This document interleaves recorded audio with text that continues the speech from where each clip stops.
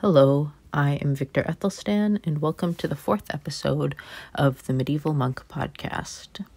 Before we begin, I will note that it is raining while I record this episode. Uh, I apologize if you hear any noise in the background. It's November, which means it's NaNoWriMo or National Novel Writing Month. For this NaNoWriMo, I am writing book three in my series Tales from the Monastery. This series is about a boy growing up in an early 10th century monastery. I am current, currently querying book one. Fingers crossed that I'll be able to find an agent soon. Because I am busy writing and querying, today's podcast will technically be story driven. I say technically because instead of a story, I will be reading from The Rule of St. Benedict. The Rule of St. Benedict uh, is not full of stories like the Dialogue on Miracles, but it is a guideline for monastic life. It was one of the most popular monastic rules in the Middle Ages.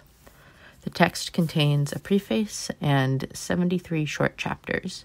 Each chapter focuses on a specific aspect of monastic life. The Rule of St. Benedict has been translated many times since it was first written in the early 6th century. I currently own D. Oswald Hunter Blair's 1906 edition. His edition is in the public domain and can be fi- found online. Today, I will read the preface and chapters 1 through 5 of The Rule of St. Benedict. So sit back, relax, and enjoy this primary medieval text. Uh, as a note before we begin, I mistakenly called it the preface when in actuality it is the prologue. So I will begin with the prologue. Prologue of our most holy Father, Saint Benedict, to his rule. Hearken, O my son, to the precepts of thy Master, and incline the ear of thine heart, willingly receive and faithfully fulfill the admonition of thy loving Father that thou mayest return by the labor of obedience to him from whom thou hadst departed through the sloth of disobedience. To thee, therefore, my words are now addressed. Whoever thou art that, renouncing thy own will, dost take up the strong and bright weapons of obedience in order to fight for the Lord Christ, our true King. In the first place, whatever good work thou beginnest to do, beg of him with the most earnest prayer to perfect, that he who hath now granted to count us in the number of his children may not at any time be grieved by our evil deeds. For we must always serve so serve him with the good things he hath given us, that not only may he never, as an angry father, disinherit his children, but may never, as a dreadful Lord, incensed by our sins, deliver us to everlasting punishment as most wicked servants who would not follow him to glory. Let us then at length rise, since the Scripture stirreth us up, saying, It is time now for us to rise from sleep. And our eyes being opened to the defying light, let us hear with wondering ears what the divine voice admonished us thus. Daily crying out, Today, if ye shall hear his voice, harden not your hearts. And again, he that hath ears to hear, let him hear what the Spirit saith to the churches. And what saith he? Come, my children, hearken to me. I will teach you the fear of the Lord. Run while ye have the light of life, lest the darkness of death seize hold of you. And the Lord, seeking his own workmen in the multitude of the per- of the people to whom he thus crieth out, saith again, who is the man that will have life and desireth to see good days? And thou, hearing him, answer, I am he. God saith to thee, If thou wilt have true and everlasting life, keep thy tongue from evil and thy lips from that they speak no guile. Turn from evil and do good. Seek peace and pursue it. And when you have done these things, my eyes will be upon you, and my ears will be open to your prayers. And before you call upon me, I will say unto you, Behold, I am here. What can be sweeter to us, dearest, dearest brethren, than this Lord of the loan inviting us? Behold, in his loving kindness, the Lord shows us, shows to us the way of life. Having our loins, therefore, girded with faith and the performance of good works, let us walk in his paths by the guidance of the gospel. That we may deserve to see him who hath called us to his kingdom. And if we wish to dwell in the tabernacle of his kingdom, we shall by no means reach it, unless we run thither by our good deeds. But let us ask the Lord with the prophet, saying to him, Lord, who shall dwell in thy tabernacle, or who shall rest upon thy holy hill? After this question, brethren, let us hear the Lord answering and showing to us the way to his tabernacle, and saying, He that walketh without stain and worketh justice, he that shall speaketh truth in his heart, that hath not done guile with his tongue, he that shall done done no evil to his neighbor, and hath not taken up a reproach against his neighbor.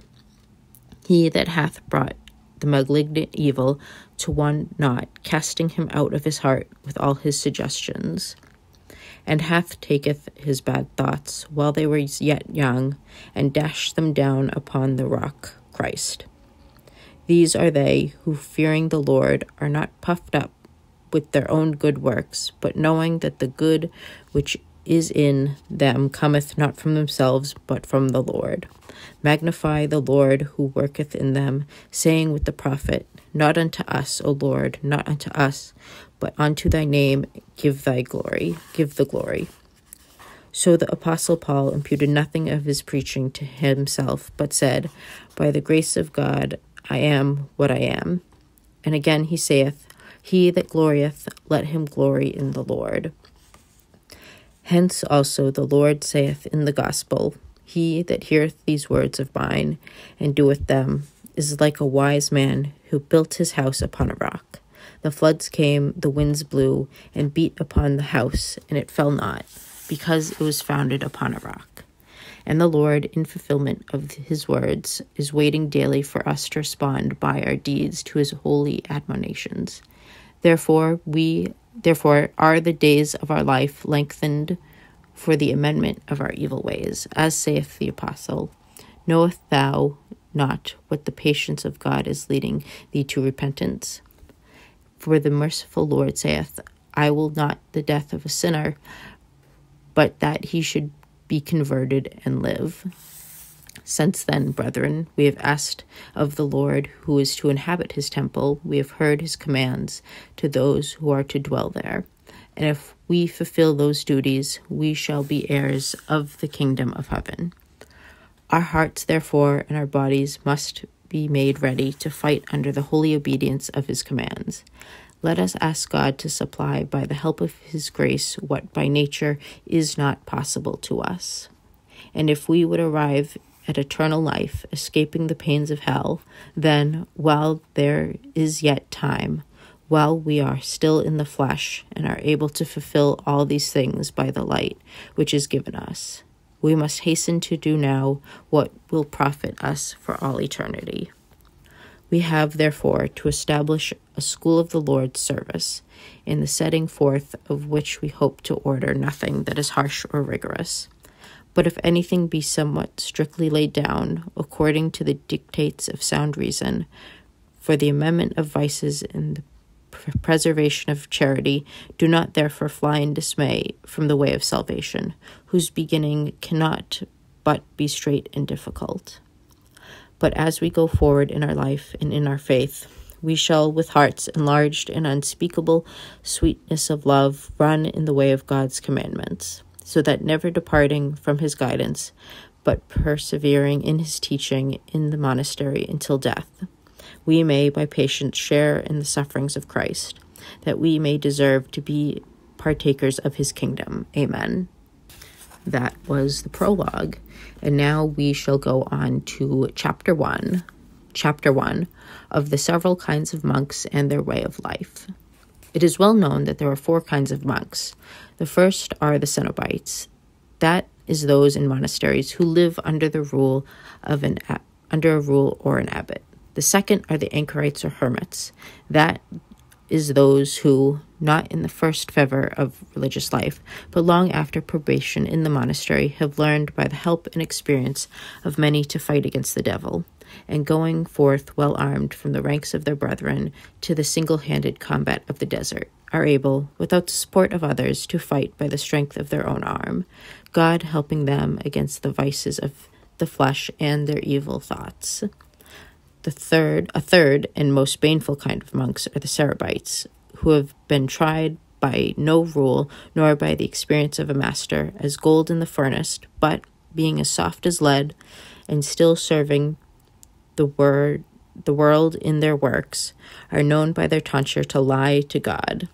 These in two or threes, or even singly, without a shepherd, shut up, not in the Lord's sheepfolds, but in their own, make a law to themselves in the pleasure of their own desires. Whatever they think fit or choose to do, that they call holy, and what they like not, that they consider unlawful. The fourth kind of monks are those called Girovagi, who spend all their lives long wandering about divers providences, staying in different cells for two or three days at a time, for three or four days at a time, ever roaming with no stability, given up on their own pleasures into the snares of gluttony, or worse in all things than the Sarabaites. Of the most wretched life of these, it is better to say nothing than to speak. Leaving them alone, therefore, let us set to work by the help of God to lay down a rule for the Cenobites, that is, the strongest kind of monks. End of chapter 1. Uh, chapter 2 What kind of man the abbot ought to be. An abbot who is worthy to rule over the monastery ought always to remember what he is called and correspond to his name of superior by his deeds. For he is believed to hold the place of Christ in the monastery, since he is called by his name, as the apostle saith, Ye have received the spirit of the adoption of children, in which we cry, Abba, Father. And therefore the abbot ought not, God forbid, to teach or ordain or command anything contrary to the law of the Lord, but let his bidding and his doctrine be infused into the minds of his disciples like the leaven of design of divine justice. Let the abbot be ever mindful that at the dreadful judgment of God, an account will have to be given both of his own teaching and of the obedience of his disciples. And let him know that to the fault of the shepherd shall be imputed any lack of profit, which the father of the household may find in his sheep. Only then shall he be acquitted, and if he shall have bestowed any pastoral diligence on his unquiet and disobedient flock, and employed all his care to amend their corrupt nature of life, then shall he be absolved in the judgment of the Lord. And may say to the Lord the, with the prophet, I have not hidden thy justice in my heart. I have declared thy truth and thy salvation, but they contempted and despised me. And then, at the length, the punishment of death shall be inflicted on the disobedient sheep.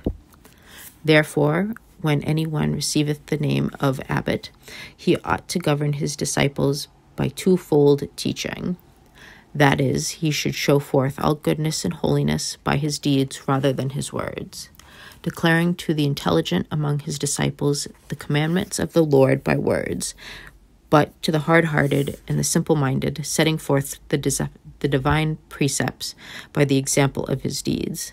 And let him show by his own actions that those things ought not to be done with which he has taught his disciples to be against the law of God, lest while preaching to others he should himself become a castaway. And God should say to him in his sin, Why dost thou declare my justice and take my co- covenant in thy mouth?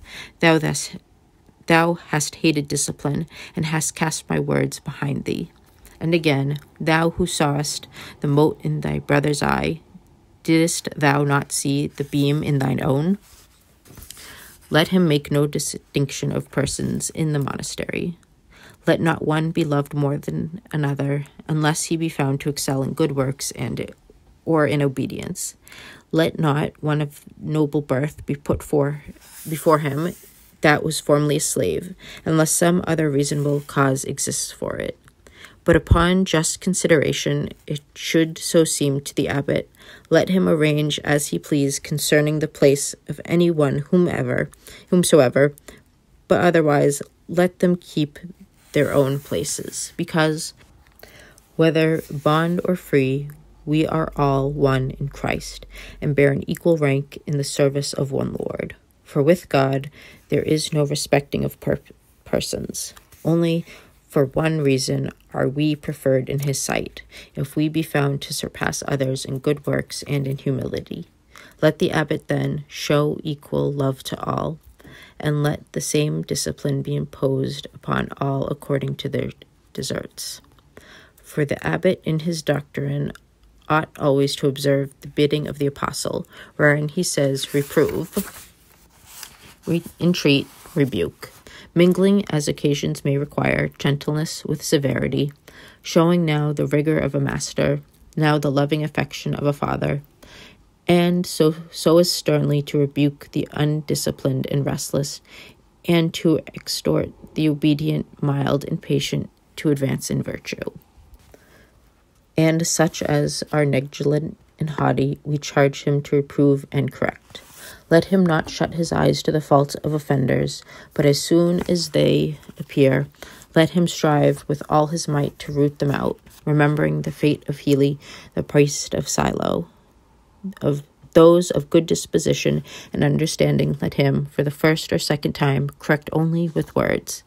But such are as are frowned for frownward and hard of heart and proud or disobedient, let him chaste with bodily stripes at the very first offense, knowing that it is written, The fool is not corrected with words. And again, strike thy son with the rod, and thou shalt deliver his soul from death.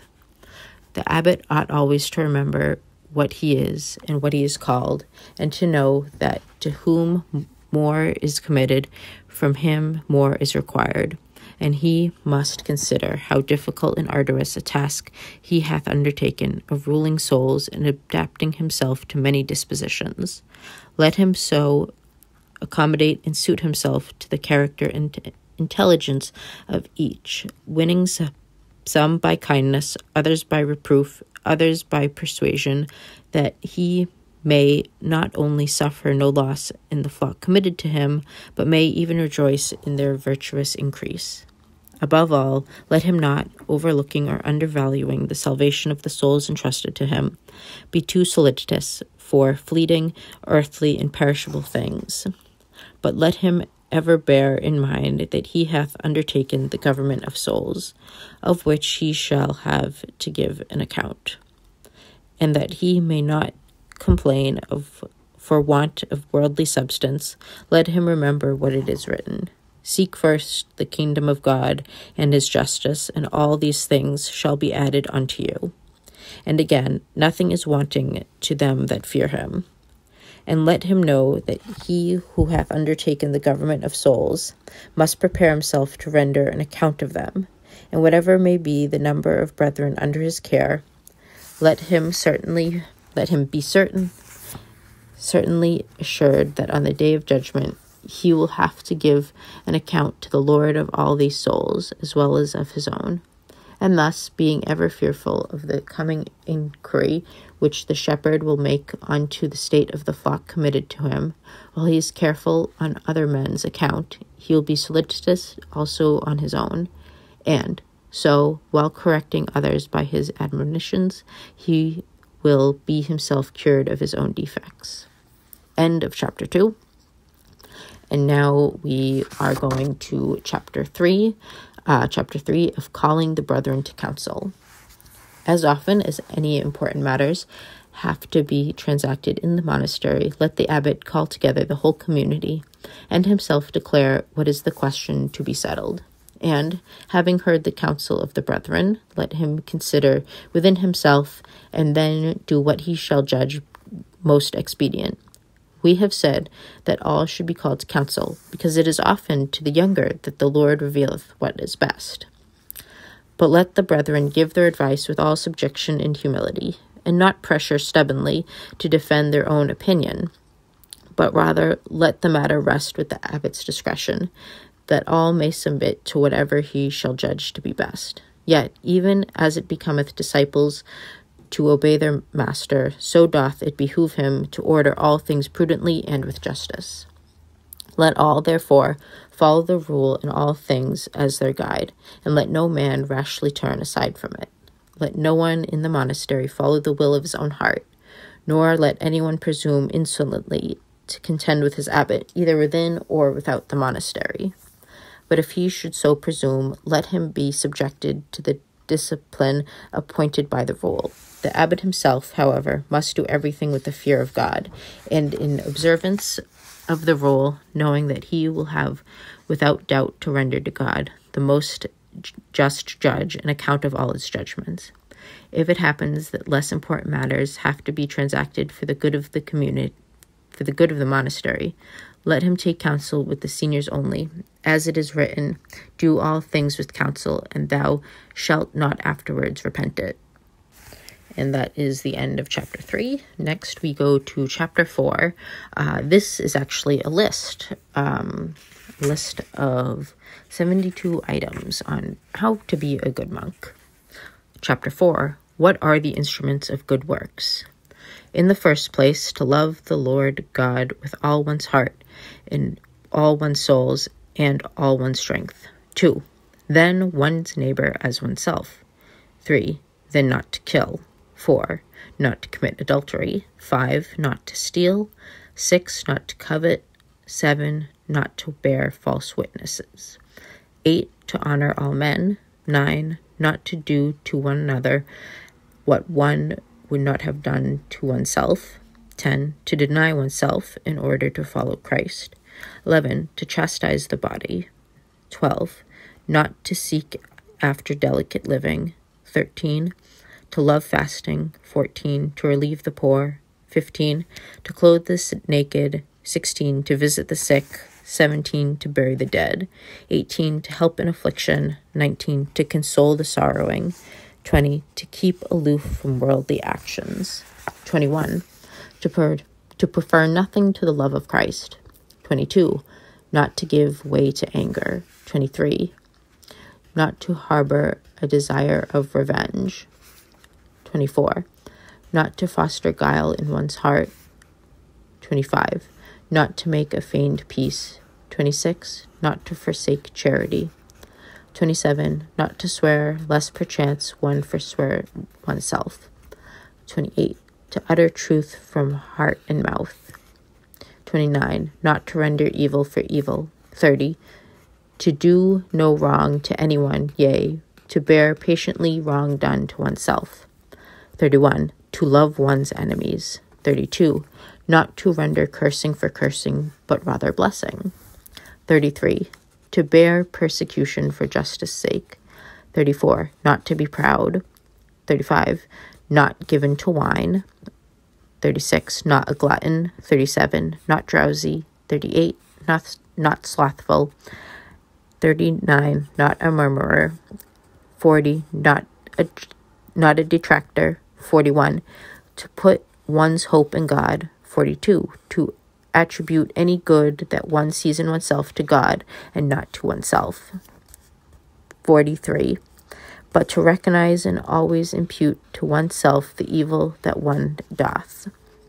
44. To fear the day of judgment. 45. To be in dread of hell. 46. To desire with all spiritual longing everlasting life. 47. To keep death daily before one's eyes. 48. To keep guard at all times over the actions of one's life. 49. To know for certain that God sees one everywhere. 50. To dash down on the rock, Christ, one's evil thoughts the instant that they come into the heart. 51. And to lay them open to one's spiritual father. 52. To keep one's mouth from speaking evil and wicked words. 53. Not to love much speaking. 54. Not to speak vain words or such as move to laughter. 55. Not to love much or excessive laughter. 56. To listen willingly to holy reading. 57. To apply oneself frequently to prayer. 58. Daily to confess one's past sins with tears and sighs to God, and to amend them for time to come. 59 not to fulfill the desires of the flesh, to hate one's own will. 60. To obey in all things the commands of the abbot, even though he himself, which God forbid, should act otherwise, being mindful of the precept of the Lord What they say, do ye, but what they do, do ye not. 61. Not to wish to be called holy before one is so, but first to be holy, that one may truly be so called. 62. Daily to fulfill one's deeds, the commandments of God. 63. To love chastity. 64. To hate no man. 65. Not to give way to jealousy and envy. 66. Not to love strife. 67. To fly from vainglory. 68. To reverence the seniors. 69. To love the juniors. 70. To pray for one's enemy in the love of Christ. 71. To make peace with an adversary before setting of, the setting of the sun. 72. And never to despair the mercy of God. Behold, these are the tools of the spiritual craft, which, if they be constantly employed day and night and duly given back on the day of judgment, will gain for us from the Lord that reward which he himself hath promised, which eye hath not seen, nor ear heard, nor hath it entered into the heart of man to conceive what God hath prepared for them that love him. In the workshop where we are to labor, in all these things, in the cloister of the monastery, in the stability of the community. That is end of chapter 4. And now we are beginning chapter 5. Chapter 5 of Obedience. The first degree of humility is obedience without delay. This becometh those who hold nothing dearer to them than Christ, and those who, on account of the holy servitude which they have taken upon them, either for fear of hell or for the glory of life everlasting, as soon as anything is ordered by the superior, suffer no more delay in doing it than if it had been commanded by God Himself. It is of these that the Lord saith, At the hearing of the ear thou he hath command obeyed me. And again to the teachers he saith, He that heareth you heareth me.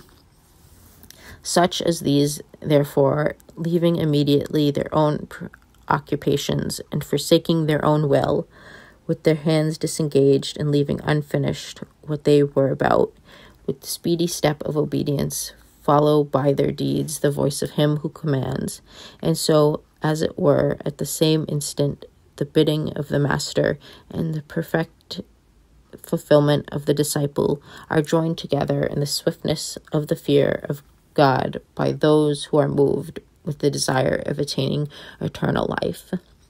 These, therefore, choose the narrow way of which the Lord saith, Narrow is the way which leadeth unto life.